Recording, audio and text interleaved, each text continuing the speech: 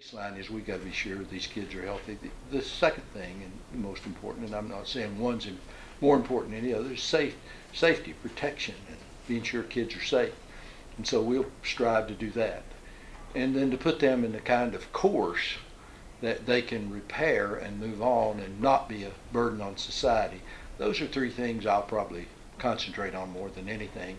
And we can debate the severity of the problem. One thing is for sure, I can tell you, there is no issue closer to Tennesseans that are more sensitive than the plight of children and their efforts to become successful in life. All we need to do is look across Tennessee to see thousands of volunteers and their efforts to help children and families in need. Is it important? You bet because it's not only the right thing to do, but the cost of keeping these kids out of drug addiction and crime is worth a lifetime in jail is very expensive. As a nation, we don't have all the answers. As a society, we struggle. Being better than most states is not good enough for us. As most Tennesseans know, being second best at anything is not acceptable. We strive for excellence in Tennessee, and we accept nothing short.